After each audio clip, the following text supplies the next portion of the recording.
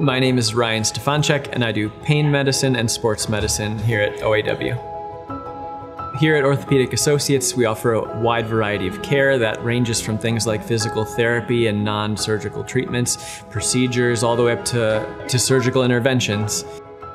I really appreciate the collaborative environment, and I've found that all the doctors just want to help people get better.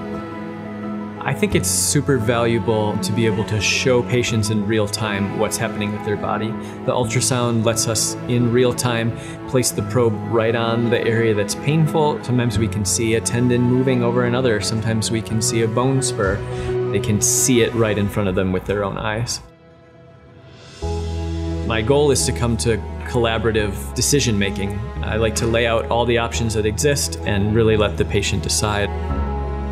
I also have a kind of special passion for chronic pain patients, people who may have heard from other providers that there's nothing more that can be done for them. If anyone has kind of an open mind and is willing to think out of the box and try some different treatment approaches, I feel like I can help some of those kind of people. I like to kind of have a first talk where we talk about what pain is, what it means to you, what I think might be causing it, and how we can help. I like to hit pain and injuries from lots of different angles before sending someone on to surgery if it's not an emergency.